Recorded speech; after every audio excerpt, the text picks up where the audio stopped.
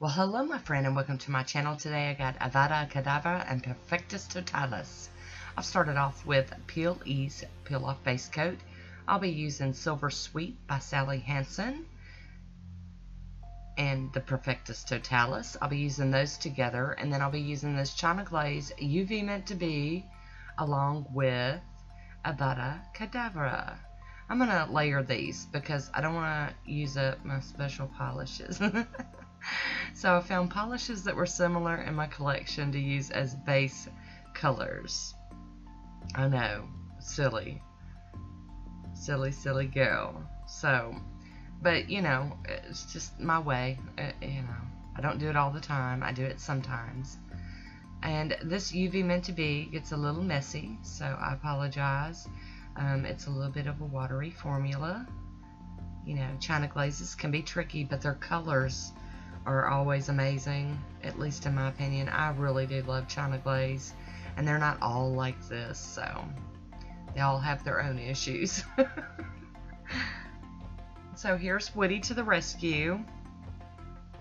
I'm to help Mama clean it all up, make it look better.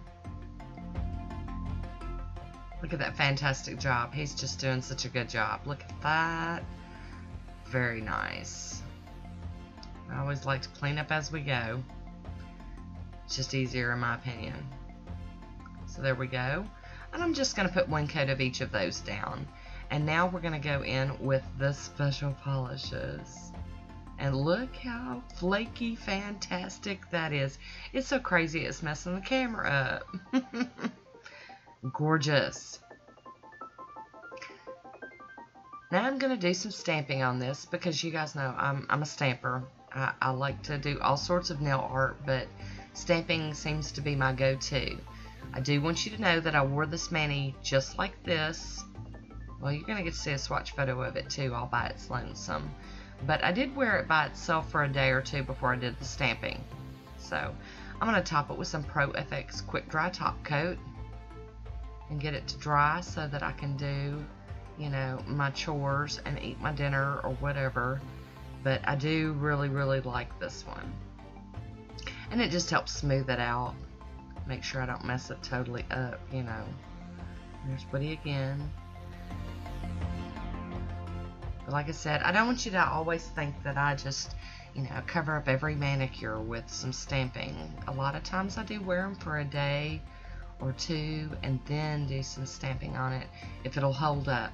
You know, sometimes I'm pretty hard on them and Sometimes I stamp anyway, even if I've been hard on them. What did you get at workout today? That's gorgeous. I love these polishes. So here's my swatch photo of it on its own. Next I'm going to be stamping with Bundle Monsters Astronomical. And I'll be using this Harry Potter plate from Hehe 025. I got my little mat down so that I don't make such a mess. I've decided I don't like the paper towels. So I've got my Bundle Monster Monocle Stamper out also. I thought I would give my little, you know, art craft mat a chance for stamping. And let me tell you, I really do like it because the plate kind of sticks to it and it doesn't move around. I'm cleaning off some of the excess I don't want on my nail. And here we go. I'm going to do that blue over the silver hollow flaky nails. A little hard to see. And then I'm going to clean this plate off with some acetone and a cotton ball. And we're going to do it again. So there we go. And off camera, totally, sorry. But I did get it on there. and look, I broke my nail scraper. Oh, so I'll be using a Bundle Monster scraper for the rest of this. I'll be using Silver Mercedes from Pure Ice to do some more stamping on those blue nails. Can't believe I broke my favorite scraper. Mm. Oh well. I've got a whole pile of scrapers. Just have to go through them and see which one I like. and again, just cleaning that plate off with some acetone. Now, Silver Mercedes is not a stamping polish, it's a regular polish. I don't know if they sell it anymore, but if you find a silver from Pure Ice, it's probably the same polish, and um, it, it would probably work great for stamping. So there we go. We're going to do some cleanup with some tape, and I'm happy to report that this cleanup goes excellent. I mean, this is like best case scenario right here. This stuff is coming off perfectly. Love it. So there we go. A little bit more right there. And we're going to go straight in with some top coat. No need for acetone cleanup. That's what I'm talking about. Love it.